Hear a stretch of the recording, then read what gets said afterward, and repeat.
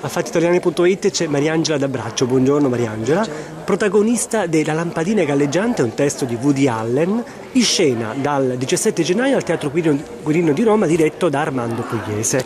Però ecco, protagonista last minute possiamo dire, giusto? Perché sì. sostituisce una sua collega Giuliana Desio. Può spiegare un po' la situazione in breve?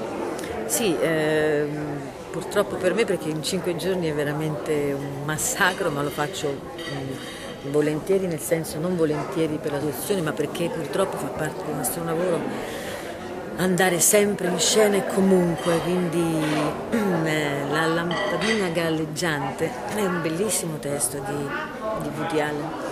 E, mm, con dei sapori un po' si è detto eduardiani perché popolari, perché popolari perché all'interno c'è la famiglia, c'è la famiglia anche con tutte le sue contraddizioni e durezze. È un testo che ha uno sfondo chiaramente duro, quasi una, tragico, però chiaramente Woody Allen con la sua intelligenza e quel taglio di battuta così appunto particolare, tutto suo, strappa anche dei sorrisi, delle risate, dei momenti surreali, ecco, quindi è un testo veramente completo. Quanto conta l'arma dell'ironia nell'affrontare anche certe situazioni? Beh, l'ironia è importante nella vita, ti, ti protegge ti, ti, anche dalle tragedie, dal dolore, ti, dà la possibilità di, di, difenderti, è una bella arma, eh, ti fa star meglio perché eh, spezzi quello che è il momento tragico, quindi è una grossa, grossa, grossa, grossa arma. Il personaggio che lei interpreta ha um, luci ed ombre una donna che cerca di dare il meglio per la propria famiglia ma allo stesso tempo vive le proprie frustrazioni in modo intenso. E come si è calata, anche se in poco tempo, nei panni di, del personaggio? Io andrò in scena con molto istinto, nel senso che sto assorbendo tutte le notizie e sto assorbendo tutto il copione e, e, e, gli input dei miei colleghi e la regia soprattutto. Eh, son, però chiaramente il personaggio è scritto molto bene e la commedia è scritta molto bene, quindi molto chiara.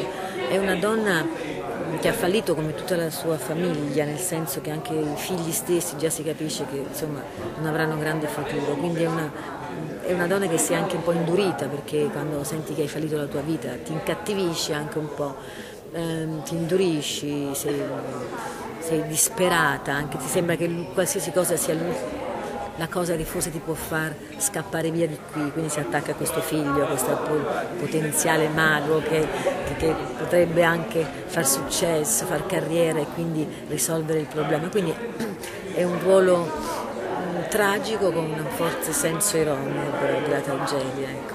E invece Teresa la ladra?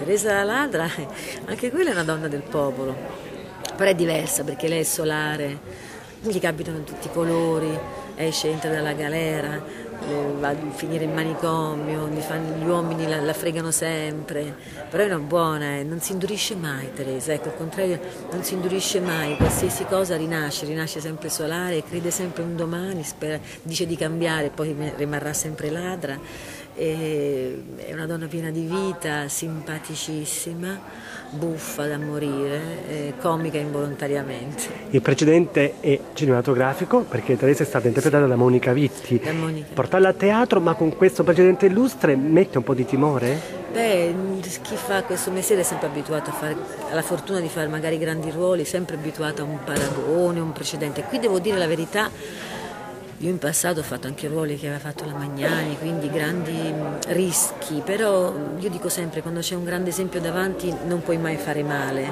puoi solo prendere qualcosa e fare qualcosa di tuo, perché capisci quanto il ruolo è bello se qualcuno lo fa bene. Qui in questo caso di Teresa è diverso perché Teresa si stacca molto dal film, eh, perché è un'opera musicale questa nostra, è un teatro canzone, è un'operetta io sono accompagnata da cinque musicisti e c'è una cosa molto importante, l'entrata di Sergio Cammariere, perché Sergio ha scritto tutta la colonna sonora dello spettacolo e otto canzoni nuove, inedite per Teresa Ladra, che io canto in, uh, nello spettacolo. Quindi ecco, è una cosa che si va ad aggiungere al film e al romanzo, cioè c'è anche un'operetta su Teresa Ladra. Grazie a Mariangela D'Abbraccio. Grazie a voi.